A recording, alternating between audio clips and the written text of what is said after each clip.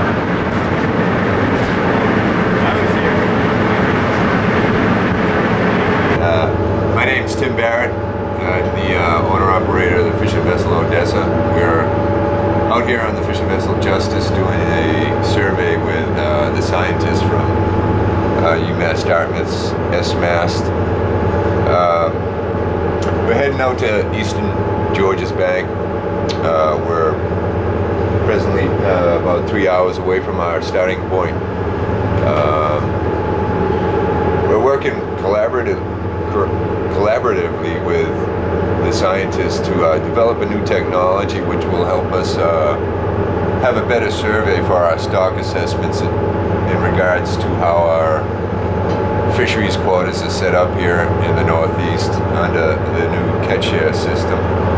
We, uh, we're working to uh, have a better idea of what the biomass is out here on the bottom. We're using a newer, newer technology which covers a greater area. Um, and we're this will make a big difference in the way uh, our quarter is delivered, and it's uh, it's very important to the community because we have a lot of families and a lot of businesses that are in need of us to be able to go fishing and to fish on a consistent basis and bring in a uh, decent catch for the communities to survive. Uh, our communities rely on this stock assessments in order that the boats will wind up being able to fish. And at the present time, the system that is in place is broken. Uh, the science is always under question and uh, not up to date. It's our, an archaic system of science that is used right now. We need to have uh, a better better idea of what's out on the bottom because it has become extremely important as far as how our fishing habits are are managed and adapted. Uh, a lot of the boats don't have time to go fishing. They don't have the quota to go. Um, they've had, had to seek other methods of uh, being profitable. And at the present time, with the assessments we have now, industry isn't profitable, we're in deep trouble. Uh, hopefully, uh, with this new system, we'll have a, a, a better, better handle of exactly what's out there. Okay, it's uh, it's Friday the 15th of May, and uh, we've just uh, sailed all night, and we arrived on uh, on Georges Bank. We're in the southern part of Closed Area 2. This area is is normally closed to both uh, scallop and ground fishing. Uh, it is open occasionally for scalloping for rotational uh, fishing to uh, harvest. Um, and yellowtail is a big problem here because uh, the yellowtail bycatch can close down the scallop fishery. Uh, the yellowtail stock is believed to be very, very low. Uh, so what we're going to do is, is start to run our transects and we're going to start off uh, by doing three back-to-back -back closed tows. So we're going to set our gear, we're going to have uh, this, all these instruments running with the recording of the uh, um, video. We have two video cameras, a black and white and a color in the uh, cod end and a series of lights. We're going to try and record all the fish that go through them And We'll pull the uh, net up on deck, dump it out, and count and identify and measure uh, the fish that we collect. And we're going to do that three times in a row. And the reason that we're doing it three times in a row is that in our experimental design, our assumption is that one tow will represent a, a proportion of transect. And uh, so we're testing that hypothesis. So we're still at the experimental phase where we're still trying to work out the different assumptions of the survey and make sure that we understand uh, what we're saying is happening is actually happening.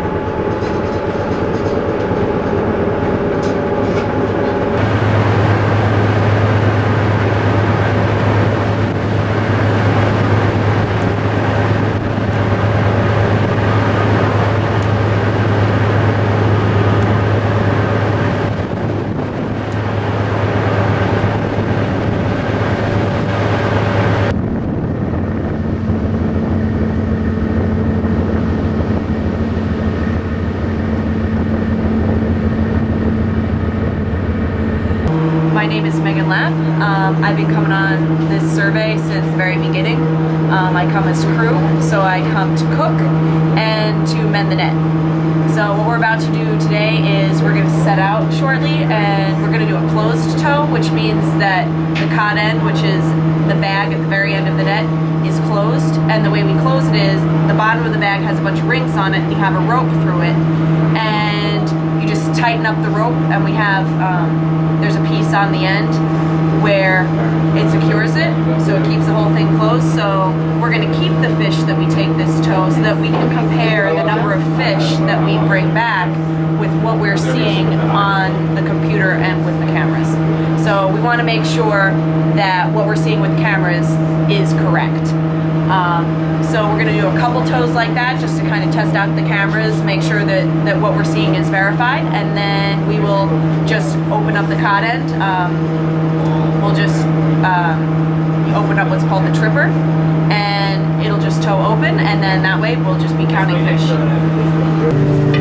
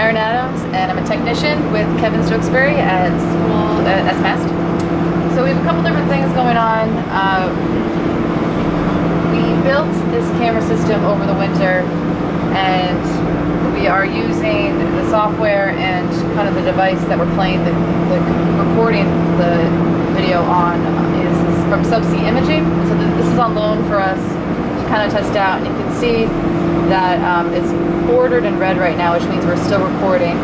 It gives you the lat long and the time and the date. Um, so this just gets kind of this is basically a big computer, so it gets saved in here, and then we'll back it up um, uh, daily or every other day or so.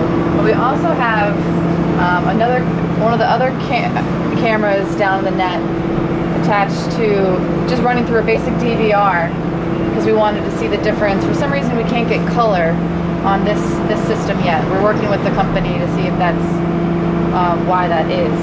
Um, this is the big slug of fish that usually comes through right at the end of a tow. Uh.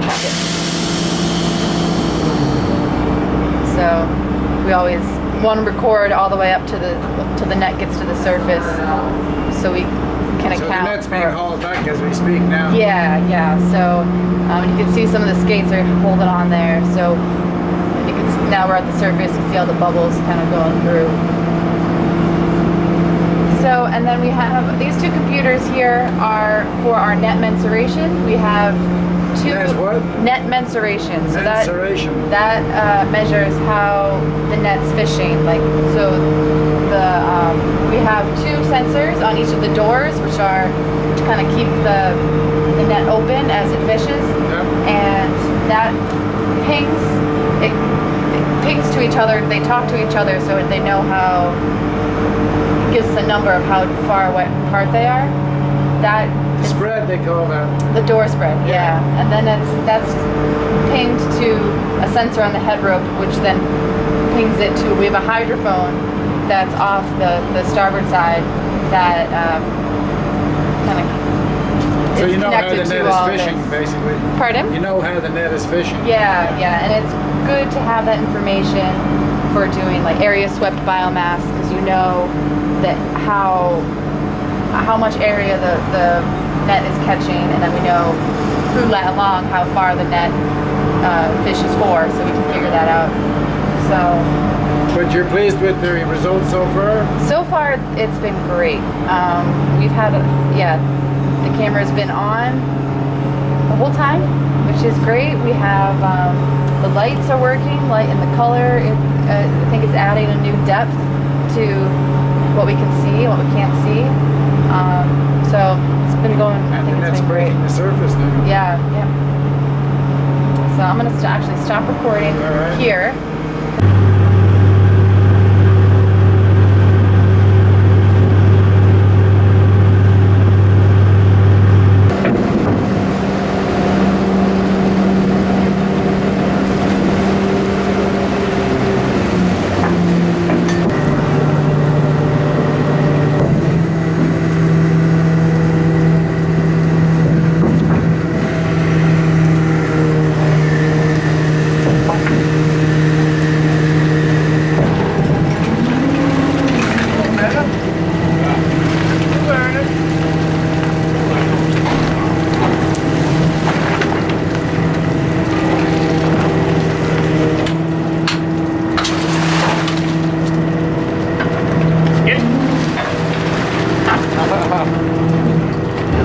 Okay. My name's Travis Lowry. I'm a master's student here at SMAST, and my thesis work is involved in this optical survey that we've developed here. Right now we're doing a closed tow. A lot of my work is based on analyzing these closed tow with several other observers to see the different sampling methods that we can use to best analyze this data. Because we have hours and hours of data here, and it's too time consuming to analyze all of it, so we're trying to subsample the data. So right now we're doing the closed tows, and the best sampling method that comes out of that can be used for open tows. So right now we're hauling back a net. Well, we know exactly how many fish are in the closed tows, so we're going to be on deck in a few minutes, just sorting through all the fish species and me- getting measurements and weights. And then for the open tows, um, we just let the net drag, and we're not sure of how many fish are in these open tows, but we through the video surveillance, all the fish are registered past the camera and are dumped back into the ocean. So the open tows are good for um, minimizing mortality, but maximizing the area swept, which covers, um, which gives us an estimate of how many fish are out here.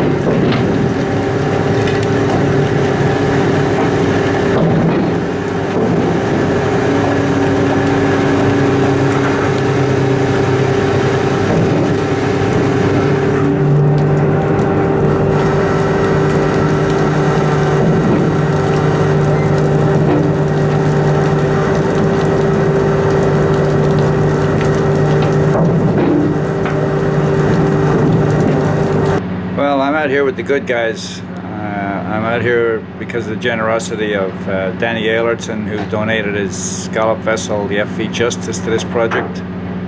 And uh, Kevin Stokesbury, who's developing this technology, which could really be a game changer in terms of uh, determining how many fish are in the ocean. And uh, his uh, students, who are doing such a great job. And um, this is the way forward. I don't know why there's been such resistance from, uh, shall we say, the establishment to innovative technology such as this. Kevin's already proved with his scallop survey results that the work that SMAST is doing has been invaluable in helping to uh, sustain the fishing port of New Bedford and the fishermen and businesses that depend upon it for their livelihood. And uh, we're now facing a similar uh, crisis with the groundfish industry. And um, you know, we're trying to find out how many fish are out here because uh, the recent surveys are seriously underestimating the biomass. This is the cutting edge out here on Georges Bank.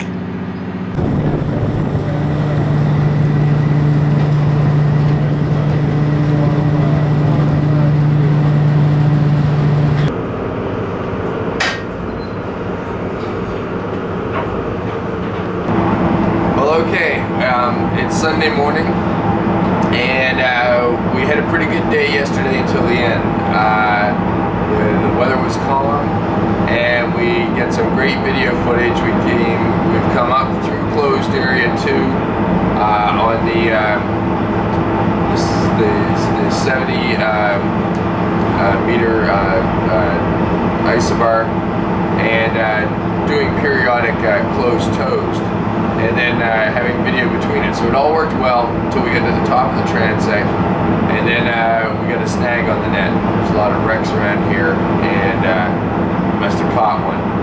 And the, um, the doors uh, twisted, and, and one went over the other, which happens from time to time. And uh, and so then we, we pulled the we pulled the, the gear up, and it was uh, it was kind of a mess, but it was uh, amazing what these fishermen can do to to, to untangle uh, those kind of things, stuff that you you know you'd think oh well you'll never get that untangled, and an hour later it's all set, and so it took a few hours, but but they got it they got it uh, they got it cleaned up. However, in doing so, um, they they had to uh, uh, increase the throttle a couple of times and put some pressure on the net, and that combined with um, uh, well, for whatever reason, something happened to our, our video cable, so we're not getting uh, a signal up to the bridge anymore on either of our cameras, which is kind of odd. The lights still work, and I'm thinking it's a couple of possibilities. It might be that there we've strained the cable in one spot, and that strain is just enough so that we're not getting our, our video signal anymore. Our ca cable was quite long, and a, a new cable and a new experience for us actually building it, and we might just be right at the limit of what we can do. This is what the company told us when they were just putting it together, but this trip came together quite quickly because of delays from manufacturing and stuff. So uh, I actually, uh, the more I think about it, the more I think that might be the case. In which case, we can take it back, cut a few uh, hundred feet off the cable, put it together, and, and it should work. But but I can't do that out here. I don't have the equipment, nor really the skill to uh, to do a complete uh, cable splice. So what we're going to do uh, is take the cable off but we're going to continue our closed tows, our series of threes, because that'll give us the data that we need uh, for my student uh, for his his master's thesis to still gives us that short distance uh, resolution of, um, of how well um, uh, the networks and what happens when you do one tow right next to another, how well do they predict each other. And it'll also give us the data we need to compare what we're collecting this year from what we collected last year and to see if uh, the population has gone up or down in this area. So the only thing will be down is one one transect video cable at the end of the survey. So it's kind of the advantage of when, when you come out in the field, you always just have multiple purposes and you try and uh, get as much as you can. That's what we're going to do.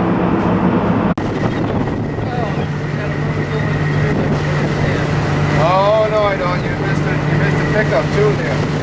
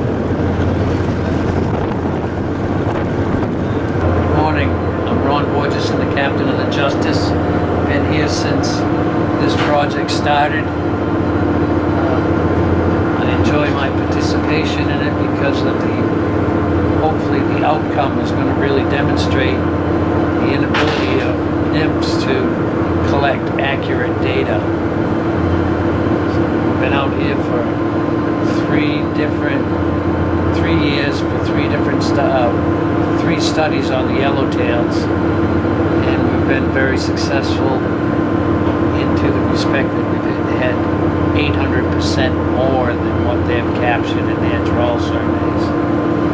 So that in itself is a statement.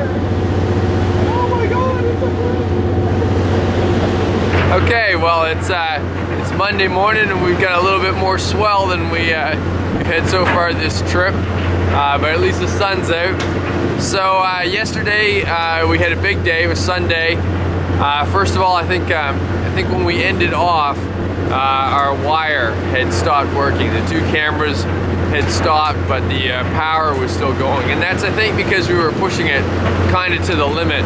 And uh, so we've got some ideas on how to fix that and get that back up and running. But we still got half uh, half of what we were looking for with the uh, with the the uh, uh, cameras in this uh, in this cod end.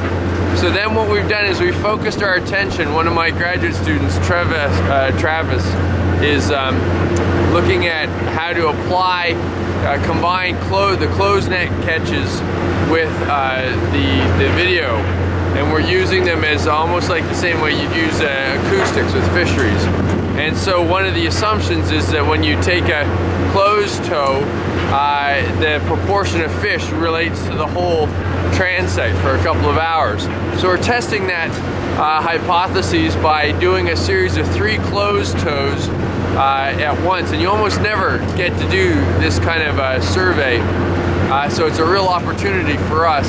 So although you know it was a shame that the wire went down, we've we've made the best of it, and we've been doing these three tows. Now yesterday we did three uh, locations, so we've been going to the same locations that we did uh, last year in April. So we're a little later, about a month later. So there, there's a number of different things it's going to produce. One is uh, it's going to allow us to to examine the assumptions of our new um, design combining the uh, video and the uh, trawl. Two, we're going to be able to do a kind of a random modeling where you select either the first, second, or third tow, mix that up because we're going to have about uh, 10 to 15 sites, and that allows you to generate a whole number of series of uh, of, of, abundance estimates for each of the species.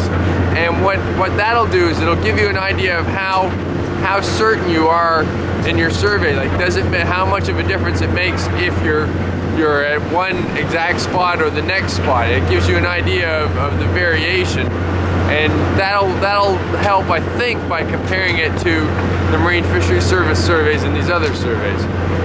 So that's what we're doing now. We're doing uh, the next couple of days is these three uh, uh, three tows back to back at these locations before we head home.